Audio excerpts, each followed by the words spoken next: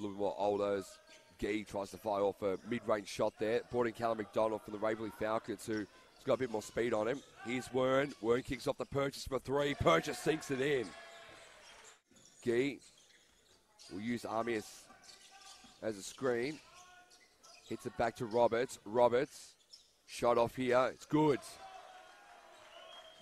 Blocked off there by Gaze, and it's in the hands of Jack Purchase. Purchase finds Gaze. In for Wern. and Wern 6 to 3. Splash. Great shot there by Wern. In for Purchase. Purchase. Good defense there. Good steal from Armius. Armius.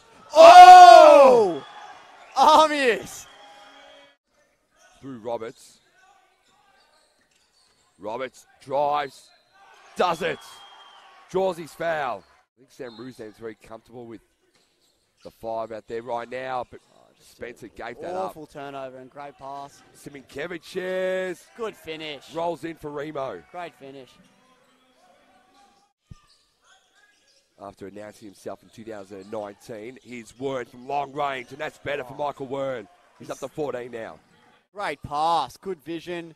Jesse get. Oh. Jesse Gee misses the three. Give us on the three. McDonald might be able to get. Oh! oh!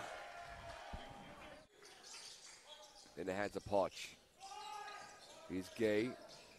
Dano would need the first points of this third quarter, and they do. Through Jesse Gee. And then they can slowly get into this lead, and hopefully for them, Jack Purchase stops hitting threes. Oh, my as goodness. He hits a three. Jack Purchase. Good pass. Von Hoff Van, drops it in. Von Hoff gets the layup. Gaze in the corner. Long ball for purchase. Risky passes here by Melbourne. Shahal long Shahal. range three. Oh! Drains it. Shahal!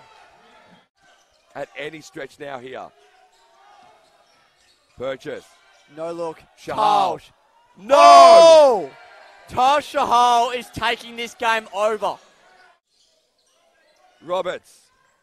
Drives. Floater. Amen. Slams it down.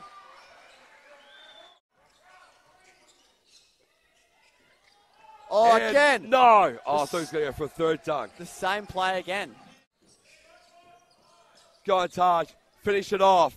No, he doesn't. Purchase. He might finish it off. Instead, he does. Purchase pays for it in full. What a great closing shot. What a big win for the Tigers.